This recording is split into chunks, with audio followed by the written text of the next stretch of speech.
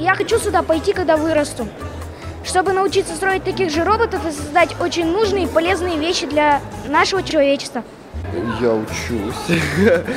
Кое-как научусь, грызу так гранит науки вроде.